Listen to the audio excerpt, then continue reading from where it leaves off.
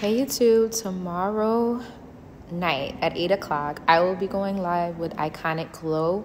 Um, please see the description box below for my instagram handle. That's where i'll be going live. Also please make sure to follow her on iconic glow. I'll also disclose that in the description box below.